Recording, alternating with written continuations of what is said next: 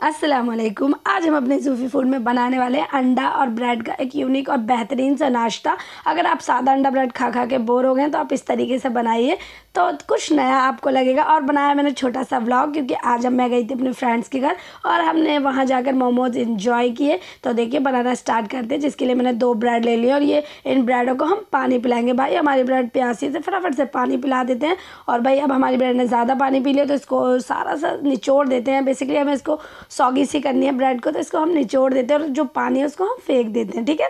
खाली बाउल ले लेते हैं और अपनी जो निचोड़ी हुई ब्रेड है उनको ले लेते हैं और लेते हैं दो बॉयल एग तो हार्ड बॉयल करना है हमें कम से कम दस मिनट तक अपने अंडों को बॉईल कर लेना और देखिए मोटा वाला ग्रेटर है ना, इससे अपने अंडों को अच्छे से ग्रेट कर लेंगे। अच्छा आप सादा नॉर्मल अंडा ब्रेड खा खा के बोर हो गए तो आप इस तरीके से बनाइए तो आपको बहुत मज़ा आएगा। और आगे छोटा सा ब्लॉग भी है, वो भी ज़रूर से देखना। और मेरी वीडियो अगर आपको अच्छी लगे तो लाइक शेयर सब्सक्राइब करना, ठीक है? अंडे अच्छे से मैंने दोनों घिस दिए आप इसमें कुछ सब्ज़ियाँ डाल देते हैं। तो ये कैप्सिकम है, हरी मिर्ची, हरा धनिया और प्याज है। आप कुछ और गाजर और पत्ता गोभी वगैरह भी ऐड कर सकते हैं। मेरे पास ये चार थी तो मैंने ये चार ऐड किया। अब डालते आधा चम्मच चाट मसाला डालेंगे इसमें हम। और डालेंगे पिंच ऑफ़ ब्लैक सॉल्ट काला नमक डाला है मैंने इसमें तो ये ज़रूर से ऐड करना। तो थोड़ा सा मैंने इसमें डाल दिया गरम मसाला, थोड़ा सा रेड इसलिए जो मैंने ना इसमें रतनजोत पिसवा लिया था गरम मसाले में। थोड़ा सा भुना और कुटा काली मिर्च डालेंगे पिंच ऑफ़ और थोड़ा सा डालेंगे हम इसमें कुटावा धनिया पाउडर कुटावा धनिया, और डालेंगे आधा चम्मच कुटी हुई लाल मिर्च। और इसको अच्छे से मिला देंगे। सारे मसाले मैंने इसमें डाल चुके थोड़ा सा मैंने वाइट सॉल्ट भी ऐड किया टेस्ट के ऊपर, क्योंकि ब्लैक भी गया चाट मसाला भी गया तो वाइट नमक भी डालेंगे। तो अपने जायके के हिसाब से आप नमक को कम ज़्यादा एडजस्ट कर सकते हैं। तो सारे मसाले, सारी सब्ज़ियाँ सब कुछ हो चुका है। बस आप इसको अच्छे से हम बाइंड कर लेंगे। तो देखिए, अच्छे से सारे मसाले, अंडे ब्रेड इन सबको एक जान कर लेंगे, अच्छे से मिला लेंगे। तो ये देखिए तो ज़्यादा टाइम बिल्कुल भी नहीं लगता। हर चीज़ पकी हुई है तो ना इन्हें सेकने में वक्त लगेगा, ना कुछ लगेगा। और फटाफट से हमारा नाश्ता बनकर तैयार हो जाएगा। तो देखिए बच्चों के लिए काफ़ी अच्छा नाश्ता है, क्योंकि बच्चे ज़्यादातर नखरे दिखाते तो देखिए, मैंने हाथ में ऑयल लगा लिया है और इसको एक हम ट्विस्ट के साथ बनाएँगे। तो देखिए, ये मोजरेला चीज़ है मेरे पास। अगर आपके पास नहीं हो तो कोई बात नहीं, आप खाली सिंपल टिक्कियाँ से बनाकर सेक सकते हैं। तो देखिए, इस तरीके से हम इसको एक फ्लैट आप पैटी के लें और टिक्की के लें कुछ भी इसको इस तरीके की शेप दे सकते हैं, आप ओरल शेप दे सकते हैं, आपको जो शेप पसंद हो, आप उस शेप में इसको बना सकते हैं, ठीक है ना? तो मैंने सिंपल सी शेप रखी है, गोल सी, और आप इसमें मिक्स हर्ब्स डाल सकते हैं पिज़्ज़ा सीजनिंग डाल सकते हैं, आपको जो टेस्ट पता, पसंद हो आप उसके अकॉर्डिंग इसे बना सकते हैं, ठीक है ना? मैंने मोजरेला चीज़ डाला, अगर आपको नहीं डालना तो कोई बात नहीं, आप प्लेन भी बना सकते हैं तो टेंशन लेने की कोई बात नहीं, जैसा आपका दिल चाहे, आप वैसे ये अंडे के कबाब बना सकते हैं, ठीक है ना? तो देखिए फटा फटाफट से हम अपने जो ये अंडे के कबाब है, उनको रेडी कर लेते एक पैन में तेल डाल लेते तो देखिए, ये सारे के सारे दो चार छः सात बने हैं हमारे। तो सात कबाब है। आप इसे तेल गरम किया है मैंने इसमें। तो देखिए, आप सरसों के तेल में रिफाइंड में आपको जो दिल चाहे आप उसमें सेक सकते हैं। तो मैंने ज़्यादा सा तेल लिया आप इससे भी कम तेल में इसको बना सकते हैं। आप ब्राउन ब्रेड भी डाल सकते हैं, मैंने वाइट ब्रेड डाली मल्टीग्रेन भी डाल सकते हैं। जैसा आपका दिल चाहे भाई, आपकी कुकिंग है, आपका घर है, आपका दिल आप जैसे चाहे इसे बना सकते हैं, ठीक है ना? तो देखिए, सारे जो कबाब है वो मैंने इसमें डाल दिए हैं अच्छे से। तो देखिए,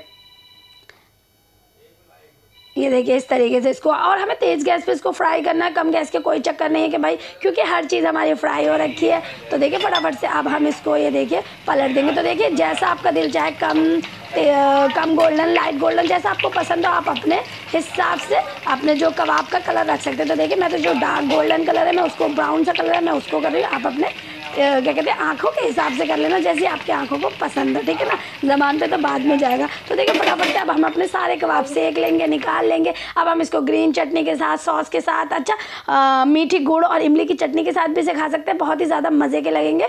तो देखिए हम सबने तो बहुत ही मज़े से इन्जॉय किया लेकिन ज़्यादा नहीं मिले भाई कमी मिले एक दो दो मिले। लेकिन कोई बात नहीं फिर दोबारा बना लेंगे घर की बात है भाई ठीक है ना? तो देखिए सारे कबाब मैंने निकाल लिया अब हम तो इसे इन्जॉय कर रहे हैं। आप भी जल्दी से बनाइए इन्जॉय किया चलिए। अब अब हम चल दिए अपनी फ्रेंड्स के घर दोपहर हो चुकी है, खाना वगैरह खा लिया, बच्चे आ गए तो मैं हो गई हूँ तैयार। आज मेरी फ्रेंड्स ने मुझे जो मेरी फ्रेंड है, उसने मुझे बुलाया था। बहुत दिन से बुला रही थी तो आज हम गए तो इनाया भी रेडी हो गई। ये देखो ये देखो, और हैदर भी हो गया। तो हैदर, में और इनाया हम तीनों जा रहे हैं। हैदर, जैद और उसके अबू घर पर ही हैं। तो भाई, ठीक है, अब हम जा रहे हैं। देखो, मैंने आपको दिखा दिया। अब हम जा रहे हैं। फटाफट से बहुत ही मज़ा आने वाला है उसके घर पर उससे मिल के बड़े दिल को सुकून मिलता है, उसे भी और मुझे भी, हम दोनों को ही मिलता है। भाई, वो मेरी बचपन की फ्रेंड है, ठीक है ना? तो देखिए। मगर मैं बड़ी होगी, वो अभी भी छोटी है देखना। ठीक है? तो देखिए फटाफट से, अब हम चलते हैं वीडियो की रुक गई मेरी तो देखिए फटाफट से अब हम जा रहे हैं। उसके घर की तरफ़ को तो देखिए हमारे घर से बाहर निकलने में पाँच मिनट लग जाते हैं क्योंकि डायरेक्ट हमें बाहर से ऑटो मिलता है और उसके घर के भी बाहर उतर कर इतना ही लंबा हमें चलना पड़ता है, ठीक है ना?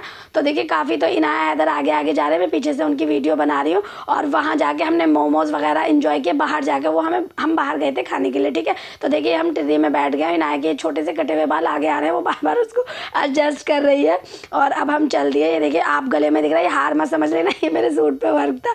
तो बहुत है ठीक है तो अब हम जा रहे हैं, देखिए, सड़कें, मौसम अच्छा हो रहा था, गर्मी बिल्कुल भी नहीं होती मौसम अच्छा था, सुहाना सा मौसम था, और टिर्री में जो ये ई रिक्शा इसमें बड़ी ठंडी ठंडी हवा से मैं जाती नहीं हूँ।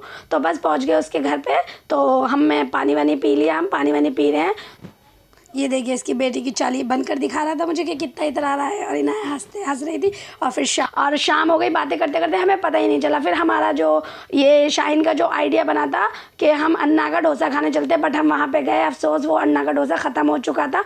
इडली डोसा ये सब खाने गए थे, वो ख़त्म हो चुका था तो हम फिर आ गए। कालका जी में। तो हमारे घर के पास ही कालका जी है तो हम का, उसके घर के पास भी, मेरे घर के पास भी, हम दोनों का घर ज़्यादा दूर नहीं है। तो हम कालका जी पहुँच गए फिर मोमोज़ खाने के लिए। शाही ने कहा, यहाँ बहुत टेस्टी मोमोज़ मिलते हैं तो चलिए खाते हैं। तो हम यहाँ पर डिस्कशन कर रहे थे, कौन कितना क्या क्या खाएगा। तो भाई, उसने हमें ये ट्रीट दी थी, आज उसकी तरफ़ से पार्टी हुई है हमने कोई खर्चा नहीं किया, ठीक है? तो देखिए, फटाफट से मैं बच्चों को लेके गई कि आप सीट ले लो, क्योंकि यहाँ पर बहुत ज़्यादा भीड़ थी। बड़ा ये स्ट्रीट है, और ये रेडी पे लगा के बैठा, लेकिन यहाँ पर बहुत ज़्यादा भीड़ थी। और ये जो कालका जी है यहाँ पर बहुत अच्छे अच्छे स्ट्रीट फ़ूड अच्छे से मिलते हैं और टेस्टी भी होते हैं, ठीक है? तो यहाँ पे हम ये मैं आपको दिखा रही हूँ। मैंने इनाया से कहा आप वीडियो बना ले इनाया ने बिल्कुल भी वीडियो नहीं बनाई। कह रही, मम्मी, मुझे शर्म आती है। तो मैंने कहा, चल भाई, मेरा काम है तो मैं ही कर लेती तो मैं फटाफट से थोड़ी सी बेशरमाई से गई भाई। शर्म तो लगती है, लेकिन हम गए। थोड़ा सा भाई, हिम्मत रखनी है। मैं अगर अपना चैनल चलाना है तो मैंने जल्दी से वीडियो बना ली। और यहाँ पे सारा हमारा डिसाइड हो गया बच्चों का और उनके खाला का कि क्या क्या खाना है। तो ये लो जी भाई, आ गए हमारे वेज मोमोज। वेज मोमोज और फ्रेंच फ्राई और हमारे पनीर मोमोज, पेप्सी लेने गया है हैदर भागकर और पानी की बॉटल और तो उसको समझा दिया क्या क्या लाना तो मेरा बेटा अच्छे से समझ गया, सब चीज़ ले आया वो और अब हमने खाना स्टार्ट कर दिया। बहुत ही गर्म और एकदम सही मोमोज थे तो देखिए मैं इसको मैं आपको खोल के दिखाती हूँ। वैसे सही थे, ज़्यादा अंदर फीलिंग नहीं थी। देखिए, पनीर के मोमोज़ हैं, वो मैंने उसको, क्या कहते हैं वेज मोमोज़ खोल के देखा था। हैदर ने सोचा, मैं जब तक वो लेने गया था पैप्सी इतने ठंडे हो गए, लेकिन मेरे बेटे ने गरम गरम एकदम मुँह में डाल लिया था और ये मैं चटनी लपेटते हुए, भाई स्पाइसी खाने में मुझे बहुत मज़ा आता है। तो ये चटनी लपेट के मैंने जो मोमोज़ मुँह में लिया भाई मज़ा ही आ गया, ठीक है ना? अगर आपका भी बहुत ही मज़े, दिल कर रहा है ना मोमोज़ खाने का तो मैं आपको रेसिपी दे दूँगी, आप मत जाना कहीं बाहर खाने के लिए, ठीक है ना? तो मैं आपको बड़ा ही फैंसी सा मोमोज़ बना के दिखाऊँगी तो नेक्स्ट वीडियो में आपको मैं दिखाती हूँ, बहुत ही बेहतरीन सा मोमोज़ बना के, ठीक है ना? तो हमने तो इन्जॉय कर लिया भाई, आप भी कर लेना, अगर ज़्यादा दिल करा तो भाई बाहर से ला के खा लें, और जब मैं बताऊँगी तो बना के खा लेना, ठीक है ना? तो भाई हमने अपना सारा मामला कर दिया है ख़त्म तो वीडियो को लाइक शेयर सब्सक्राइब करना, दुआओं में याद रखना, अल्लाह हाफिज़ बाय बाय